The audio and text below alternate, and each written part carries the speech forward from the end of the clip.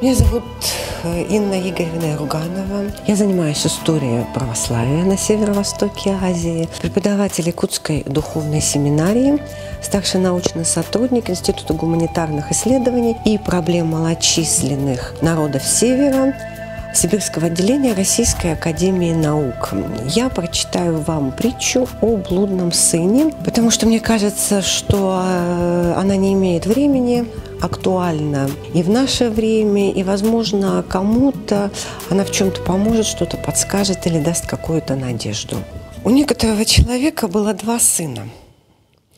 И сказал младший из них, «Отче, дай мне следующую мне часть имения».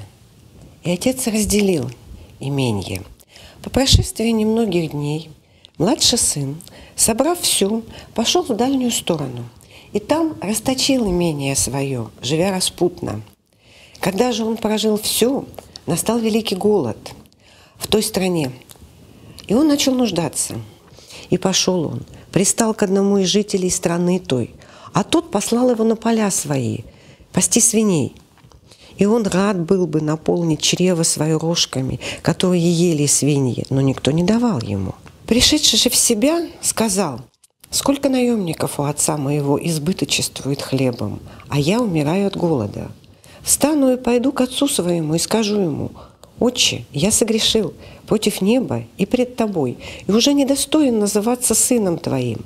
Прими меня в число наемников твоих». Встал и пошел к отцу своему.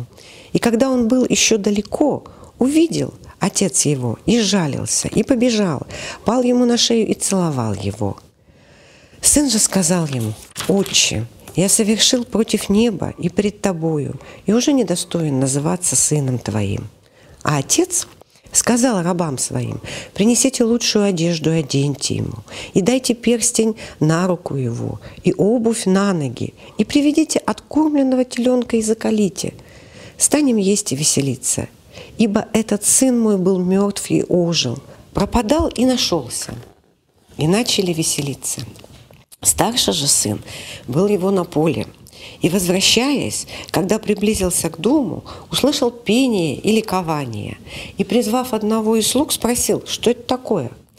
Он сказал ему, брат твой пришел, и отец твой заколол откормленного теленка, потому что принял его здоровым. Он осердился, не хотел войти. Отец же его, вышедший, звал.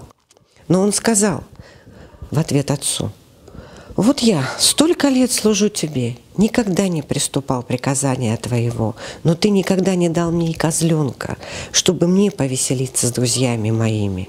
А когда этот сын твой, расточивший имение свое с блудницами, пришел, ты заколол для него откормленного теленка. Он же сказал ему, сын мой, ты всегда со мной, и все мое твое. А о том надо было радоваться и веселиться, что брат твой сей был мертв и ожил, пропадал и нашелся.